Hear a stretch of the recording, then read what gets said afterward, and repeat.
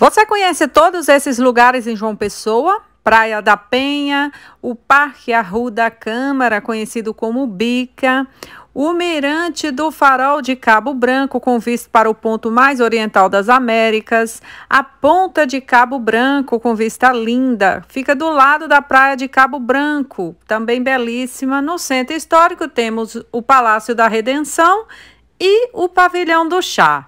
Um pouquinho da Orla de Manaíra para você. E para finalizar, o pôr do sol do antigo Hotel Globo. Lindo!